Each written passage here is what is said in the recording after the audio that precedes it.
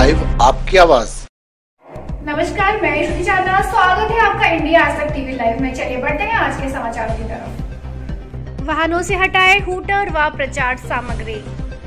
आलम tiger की खास report, Hapur में नहीं हो रहा आदर्श आचार संहिता का पालन। वाहनों में आचार संहिता लगने के बाद भी बच रहे हूटर। पार्टी का झंडा लगाकर हो रहा ज़बरदस्त प्रचार। वहीं हूटर बचाकर पार्टी का प्रचार करने वाले वाहनों पर हापुड़ पुलिस ने कसा शिकंजा। चेकिंग अभियान चलाकर काटे चालान। बता दें कि हापुड़ पिलखुआ टोल प्लाजा पर सीईओ डॉक्टर तेजवीर सिंह व पिलखवा कोतवाल अभिनव पुंडीर ने भारी पुलिस फोर्स के साथ ज़बरदस्त चेकिंग अभियान चलाया, जहाँ सैकड़ों गाड़ी से उतर उतार कर प्रचार सामग्री भी हटाई। पिलखवा सीओ तेजवीर सिंह ने बताया कि लगभग हापुड़ में 15 चेकिंग पोस्ट बनाए गए हैं, जिसमें checking point Pilkhuwa toll plaza पर भी बनाए गए हैं। जहाँ यहाँ से गुजरने वाले संदिग्ध व वाहन पर प्रचार सामग्री लगाकर घूम रहे वाहनों की चेकिंग की जा रही है।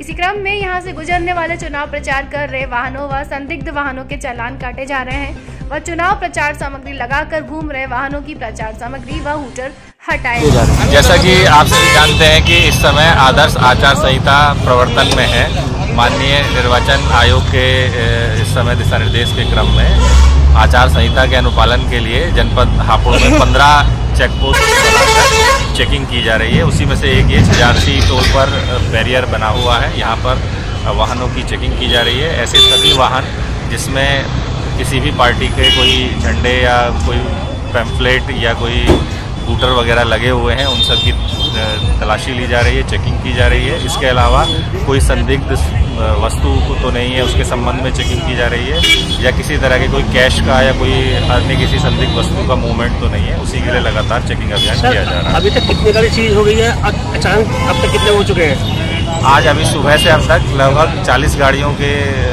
तलाशी लेकर उनके विरुद्ध कार्रवाई कर दी गई है और चेकिंग की जा रही है। चेकिंग के दौरान कुछ मिला है सर किसी अभी तक ऐसा कोई संदिग्ध चीज़ें नहीं मिली हैं लेकिन तलाश की जा रही है और मिलने पर कार्रवाई की जाएगी। सर जैसे होटल लगे हुए इन पर कितना फाइन लगता है एक बार?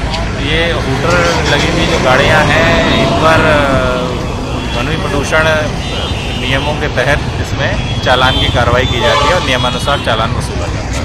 ठीक है सर ठीक है थैंक यू।